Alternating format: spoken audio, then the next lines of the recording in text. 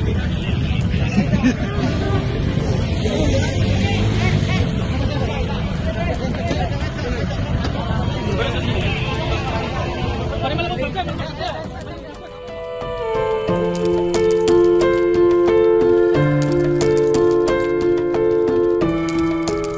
Fahmi, warga Jalan Kalianak, Surabaya, wajahnya babak belur dihajar masa pada Sabtu lalu akibat merampas motor milik Ria, warga Jalan Bulak Banteng, Surabaya. Pemuda 27 tahun ini dihajar warga di Jalan Menur Pumpungan, Surabaya. Beruntung polisi berhasil mengamankan tersangka dari amukan warga meski harus memberikan tembakan peringatan.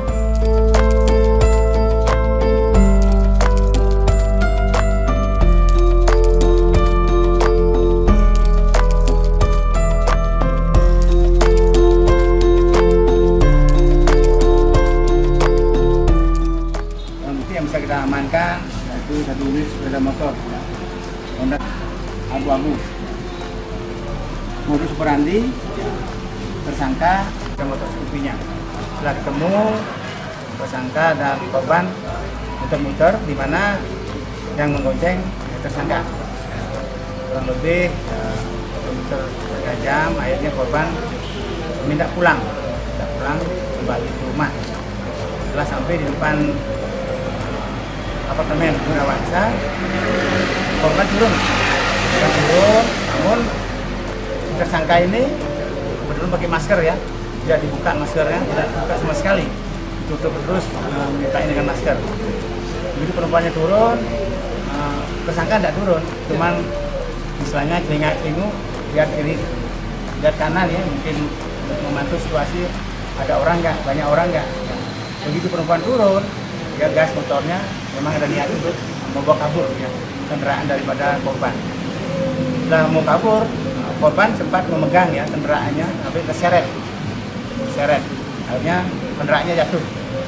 Setelah jatuh, karena waktu itu warga banyak, akhirnya eh, tersangka ini ditangkap oleh masa. Anggota kami kewalahan untuk melakukan pengamanan yang mengamankan korban. Akhirnya kami bersama Kak Reskrim, anggota semua ke sana untuk melihat situasi yang ada. Dan kami sampai melepaskan tembakan peringatan untuk bisa membuat, mengamankan, melindungi baik itu tersangka maupun korban.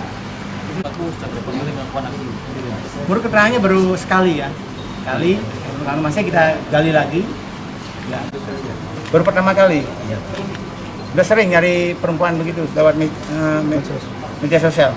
Baru satu kali. Baru sekali kali. Targetnya Targetnya janda atau gadis? enggak. Apa? bebas ya. Bebas. Berarti sering? Enggak. Hah? Enggak. Betul kali itu, betul ya? Mau ulang lagi? Enggak ya. Belajar dari mana, Pak? Eh, belajar dari mana? Itu dari medsos, Pak. No medsos. Terus rencananya kalau itu berhasil kamu bawa kabur buat apa? Buat apa motor kalau berhasil? Buat beli motor. Mau beli motor. Kamu belum punya motor? Kerja apa, Pak? Bapak jadi kerja apa? Kamu kerja apa? Pabrik, Pak. Kerja di pabrik. Plastik. Pabrik apa? Pabrik plastik ya? Iya. Di mana itu? Bilang. Wilangun, Saudangun ya. Udah punya anak? Anaknya satu. Ya. Dan kalau mau beli motor ya kerja Singapura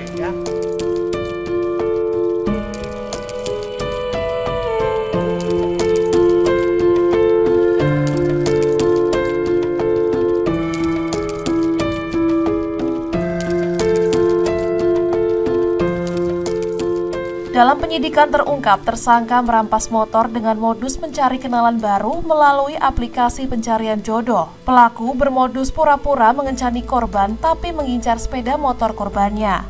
Saat korban lengah, motor korban hendak dibawa kabur. Namun korban segera menyadarinya dan langsung mempertahankan motornya lalu meminta tolong warga.